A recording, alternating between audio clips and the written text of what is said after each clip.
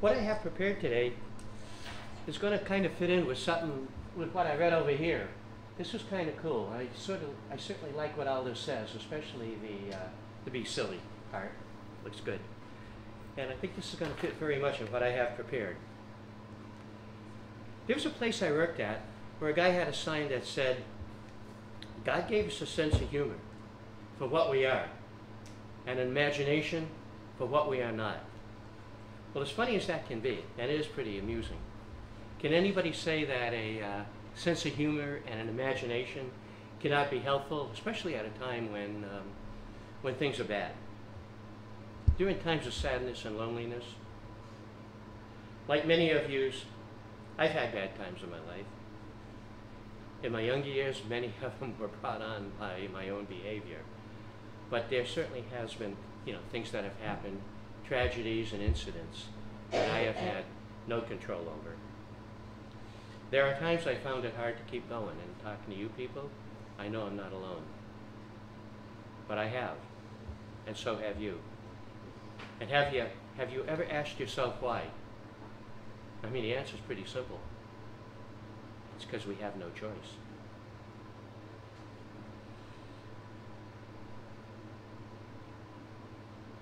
And as we said, everything in life is a learning experience. What I learned from things, that, from bad times, is that the mo more I mope and feel sorry for myself, the worse I feel. That's not to say that there's not a time for maybe stepping aside, a time for healing. But there's also going to be a time to lift yourself up and get back in the race. There's a time to get going again. And I also believe that laughter is the best medicine. Now, I will admit that, you know, my sense of humor may be maybe a, a little off the wall at times. Okay, maybe a lot off the wall. but, but it's me. It's what I am. It's what I do.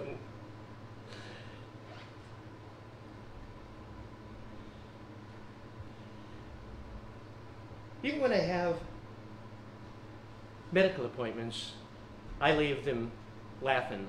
Might as well go and have a little fun. You got to be there. Um, my dermatologist and my dental hygienist look forward to my visits because I leave them laughing. I might too if it wasn't for the copays.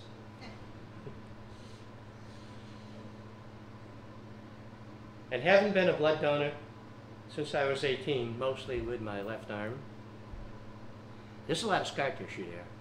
So whenever I, you know, either if it's, whether it's a blood appointment, you know, for a physical or if I'm donating blood, I have to kind of tell them that there's so much, so many holes there that it's been punctured so much that, that if I don't want them, they're gonna, they could hit a dry well and it's gonna be very, very slow. So I always tell them that there's no blood left in my left arm. It's like all been drained out.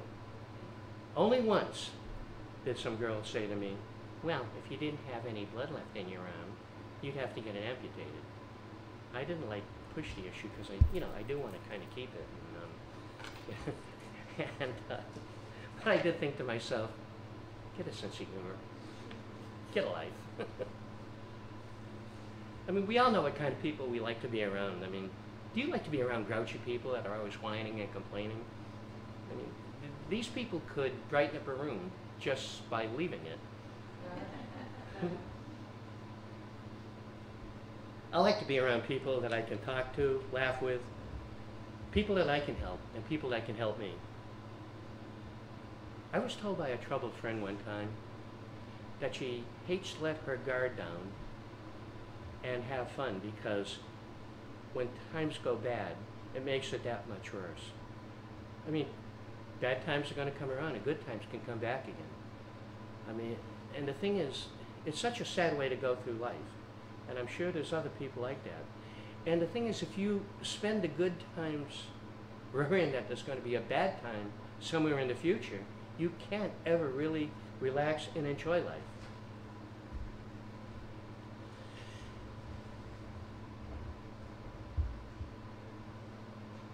Nobody is excluded from bad times. But if you spend, you know, you just gotta try to enjoy times whenever you can. Get philosophy out of movies and songs. not all of them, not probably not very many of them, but there are certain things that do stand out in my mind, that do stay with me. You must all remember the movie, you must all know the movie The Christmas Story. It's on every Christmas Eve and right through Christmas Day. It's an interesting story. It's about a little boy named Ralphie who has a tendency to, um, has a very vivid, very wild imagination. And more than anything in the world, he wanted a BB gun for Christmas. And everybody kept saying, You'll shoot your eye out, kid. But he wanted to be his hero, the Red Ranger. And in this story, burglars come to the door wearing black, wide stripes, black and white striped suits with masks, causing his father, mother, and little brother to hide in fear. But there is no reason to fear because he's the Red Ranger and he scares them away with his BB gun. The movie's been way overplayed, but it is a good it is a good example of a little boy's imagination.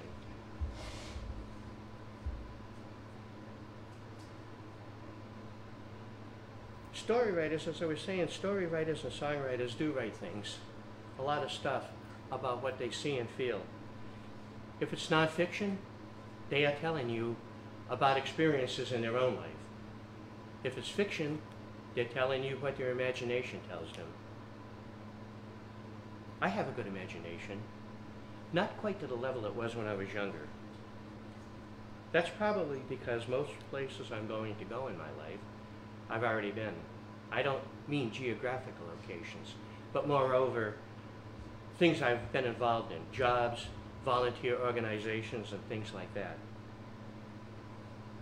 Children have great imaginations. And I believe nature provides that in children because that they have, they have their whole life ahead of them. Their imagination allows them to be different things. That will help them learn, grow, and develop by playing out various roles in their minds that they could become later in life. It's their dreams. And in, their, and in the minds of children, they are the hero that leads an army to victory. The pitcher that throws a no-hitter. The hitter that hits the walk-off home run that wins the game. The star quarterback. The rock star. Regardless of how well or poorly they perform academically or in sports, and how they stand with the popularity with their classmates. In their minds, they are successful and though it may not be a true reality, it is their reality, and it helps give them an element of peace.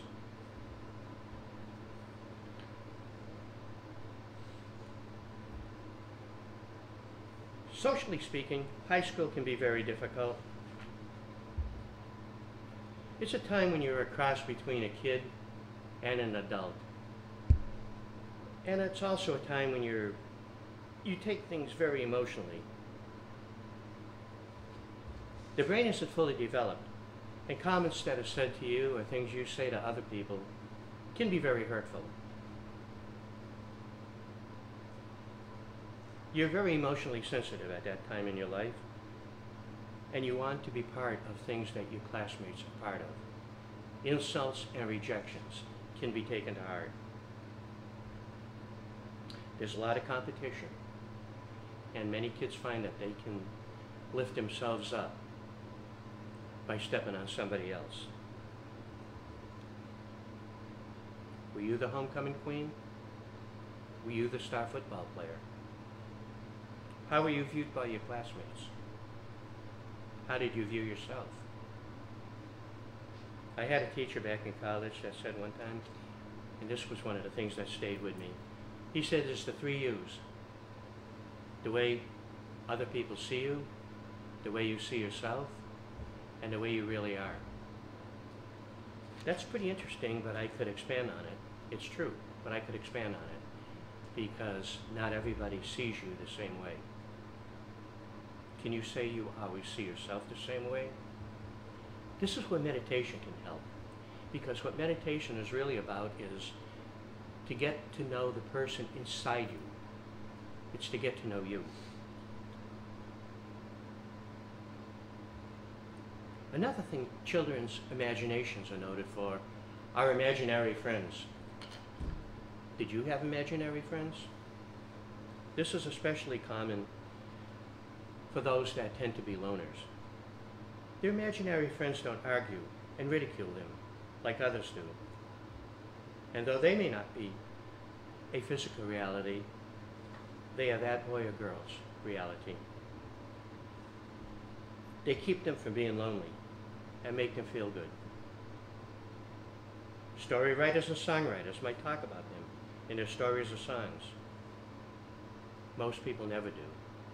They keep their imaginary world to themselves. and that's okay, because the important thing is that it helps them find peace of mind. Neil Diamond did a song about his imaginary friend called Shiloh. If you're not familiar with the song, call it up on the internet. You might even relate to it. In the song, he's telling about his childhood loneliness. The words go, Shiloh, when I was young, I used to call your name. When no one else would come, Shiloh, you always came. And we played. Through the years, he kept his dreams to himself. But then a young girl with fire made him trust someone else. He fell blindly for her. But she left him with nothing but a note. And the last line of the song says, Shiloh, when I was young, I used to call your name. When no one else would come, Shiloh, you always came. Come today. Like so many others, Neil Diamond gave us a lot of great and inspirational, meaningful, and wonderful music. Songs and movies can touch your heart. They bring you back to places and events in your mind, in your life, and in some cases, who you wish you could be.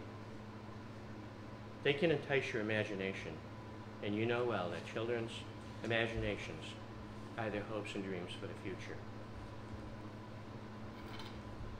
Our imaginations can be our hopes and dreams too. Not the dreams we're trying to recall when that annoying alarm clock goes off, but the ones that encompass our thoughts throughout the day. There are hopes and aspirations. Whether or not they come true in the physical world, they are a reality to us, and they help us get through our lives. I spoke of high school being rough socially, and students stepping on others to lift themselves up. But this happens in jobs and in volunteer organizations too. It's a fact of life. Even when you know you've done a good job, when you've performed well, there are people who will criticize you. It may be out of jealousy and to make themselves look better by bringing you down. And if you let them, they will bring you down to their level. Having been a Little League coach for five years, worked in some different jobs, been a Boy Scout leader registered with the Boy Scouts of America for 20 years, a member of the Springfield Turnverein that along with two other people ran the Oktoberfest. I have been the subject of controversy in many cases. So I know how that can be. But I had the time of my life, especially coaching, camping, hiking, designing, and running summer programs, teaching merit badge classes, and helping families put eagle banquets together when their son reached the pinnacle of success. And if I knew in my early middle years, my early middle age, what I know now, I wouldn't hesitate to sign on again. I've had I've got great memories of it. There were stressful times, sleepless nights with stupid squabbles. But I had tremendous support of the kids and their parents. And the wonderful memories of the things I got to do will be with me always.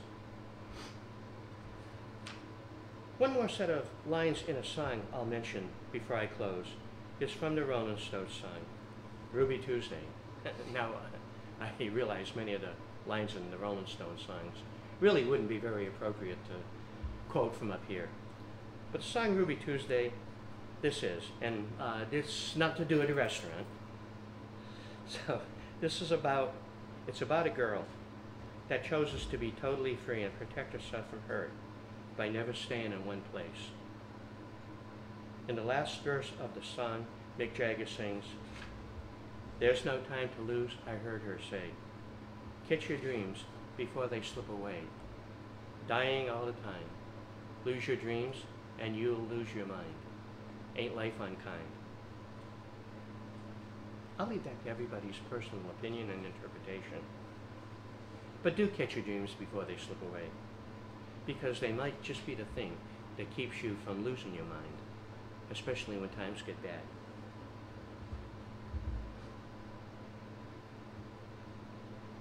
Allow your imagination to comfort you with your dreams. And as it says up here, bring joy and laughter to others with a crazy sense of humor. Love, laugh, and enjoy life as much as you can, whenever you can, for as long as you can. Thank you. Thank you.